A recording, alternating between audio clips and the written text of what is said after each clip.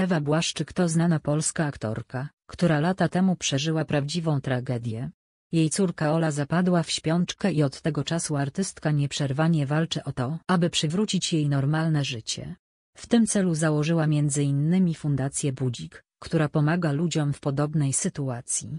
Gwiazda właśnie przekazała nowe wieści w sprawie swojego chorego dziecka. Ewa Błaszczyk od lat walczy o zdrowie swojej córki Oli.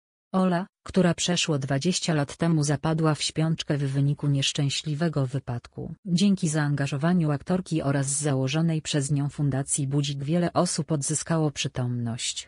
Niestety od wielu lat gwiazda bezskutecznie stara się znaleźć sposób, aby pomóc swojej córce.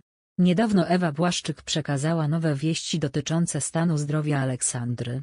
W mediach społecznościowych oraz w wywiadzie udzielonym portalowi Plejada aktorka podzieliła się informacją, że właśnie wróciła ze szpitala, w którym przebywa jej dziecko.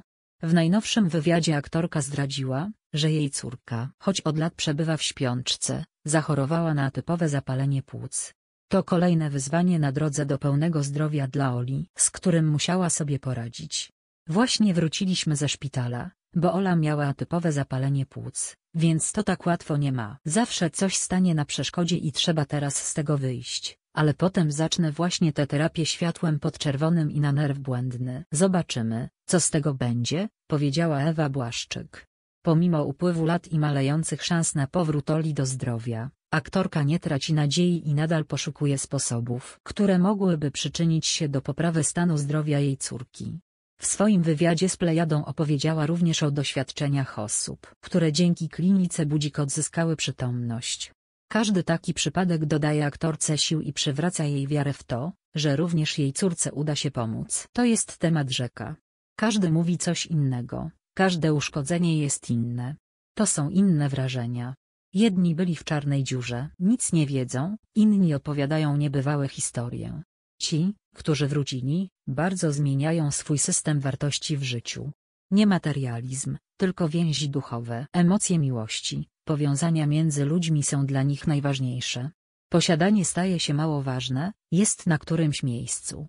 Chcą pomagać osobom niepełnosprawnym. W ogóle chcą robić coś takiego, żeby dawać, a nie tylko brać, wspominała Ewa Błaszczyk, opowiadając historię pacjentów. Aktorka, mimo trudności, od lat nieustannie poszukuje sposobów, aby pomóc córce i innym osobom przebywającym w podobnej sytuacji. Jej determinacja i oddanie są inspiracją dla wielu osób, zarówno w Polsce, jak i na całym świecie. Ewa Błaszczyk stanowi niezwykle inspirujący przykład tego, jak siła matczynej miłości i determinacja mogą wpływać i zmieniać życie innych osób. Aktorka, szukając ratunku dla swojego dziecka, pomogła dziesiątkom innych ludzi i nadal nie poddaje się w walce o zdrowie Aleksandry.